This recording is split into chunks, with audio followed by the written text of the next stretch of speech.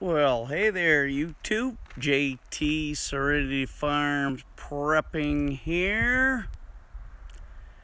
So, nature is a wonderful thing. It can provide us with everything we need. What am I talking about? Okay.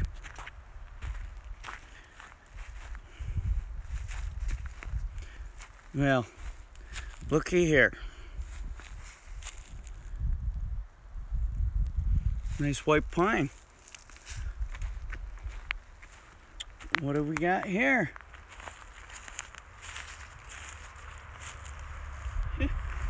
the same. Okay, where am I going with this? All right.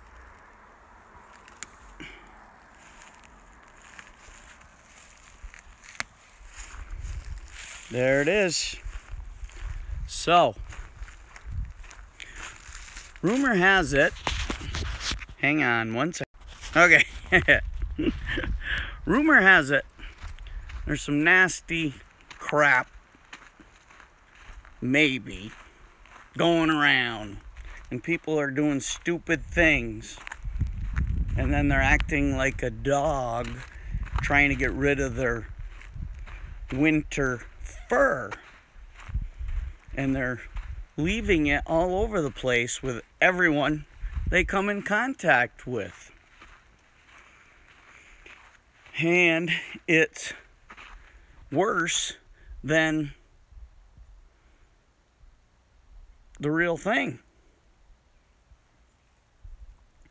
So that smells very good.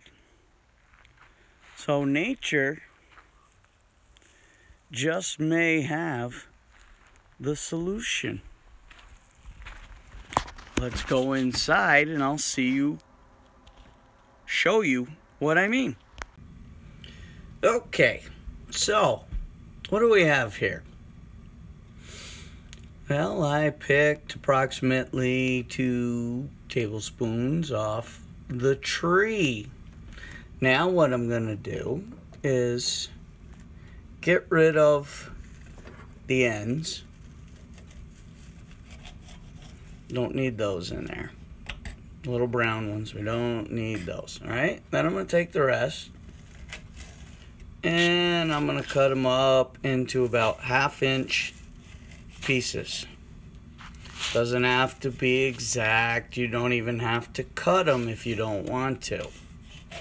Some people put these in tea bags. And some people just put them into a pot of boiling water, which is what I'm gonna do.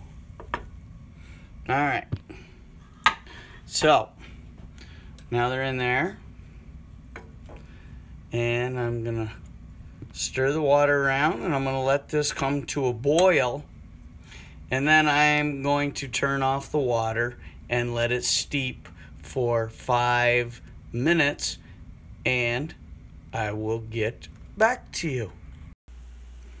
All right, so it's been steeping about five minutes. Now I have one of these handy dandy coffee filter maker things. So I just have a regular coffee filter. This will allow it to drain into my coffee cup. So I'm going to pour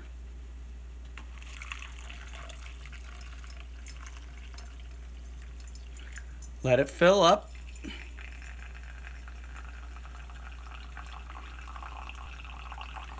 any needles will be caught by the filter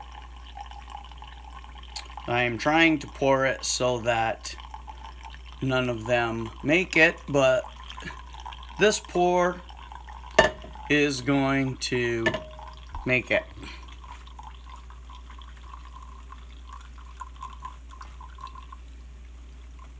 Starts to fold over. I can see a couple needles trapped.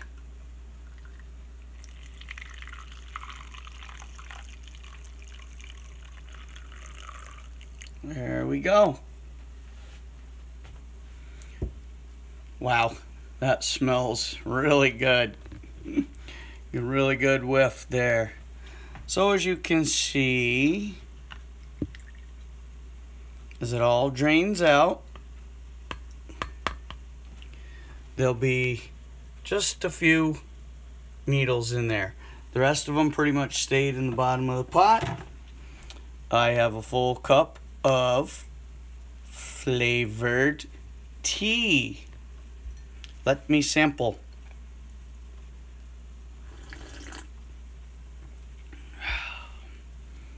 Very mild, slight hint of pine, coincidentally. now, let's go in the other room and discuss this elixir, shall we? Okay, so I have my tea. Very slight aroma, very slight hint of pine flavor. You can add some honey, some cinnamon, uh, just some creamer, just some sugar, a little mix of all of them. It's up to you to accommodate your particular taste. It's very good just like this. Stays with you a little while, but it's very smooth. It's not overpowering. So, as an avid hiker, camper, outdoor enthusiast, and prepper, you know, in my backpack, I always have a little camp stove. Uh, certainly a way to make a fire. I always have the little coffee sticks. I have some little creamer packets, little sugar packets, coffee filters, which have multiple use uh, fire starter, bathroom necessity, or to filter when I try dandelion tea, pine needle tea, or just making camp coffee where there's going to be grinds. I have a coffee filter that I pour the liquid through to filter out any sediment or particles that I don't feel like drinking.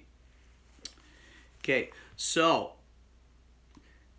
this particular tea is loaded with vitamin C. That is everywhere. You can find this information anywhere not medical advice. I'm just telling you, based on my research,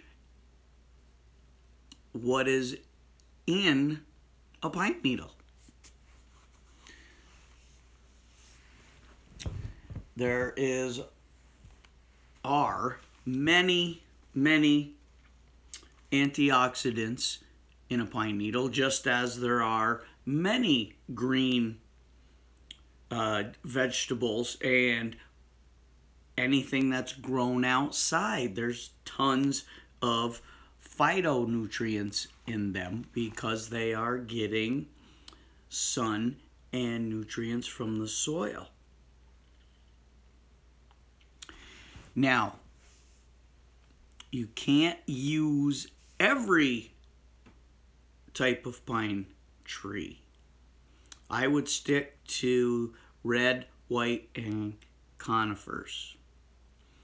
There's a list of pine trees. The yew tree, ponderosa pine, aka blackjack or west yellow, Norfolk Island pine, Monterey cypress pine, lodgepole pine, and probably a lot of others that cannot be used. I know that when you're outdoors camping, this is pine needle tea is very popular. One, it's a hot drink that's just not water boiled, and any hot drink is soothing and comforting after a long day of hiking or camping or rain or cold or damp. It just takes the edge off and makes you feel good. The pine adds some flavor, a little bit of scent, and many, many benefits against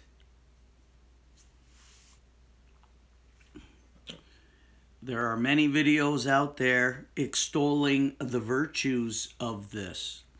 Unfortunately, we all have to speak in a foreign language to try and get the message out, as I'm sure that the commies at uh, the search engines and social media platforms that aren't on the same page that we are will soon be taking care of all this.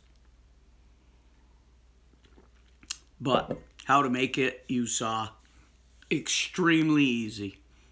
Pick some, cut off the little brown parts. Some people throw them in a pot of water, bring it to a boil, let it set for five minutes. Some people put them in natural tea bags you can order online, put them in there, throw that in it. Some people put them in after the water's boiling.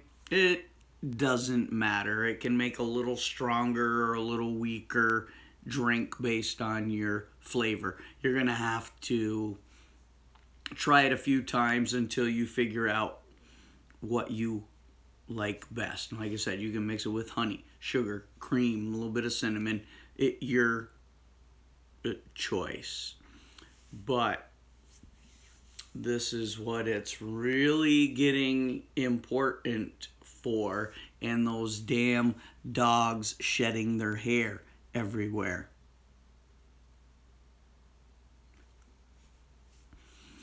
That you never know who you're coming in contact with. So that's what I'm trying to get across here. A little cryptic, but I hope everybody gets where I'm going with it. But it does taste really good, and it's a good campfire elixir. So, hopefully I'm still here tomorrow making another video. Like, share, subscribe, comment, notification bell. But for now, JT signing off.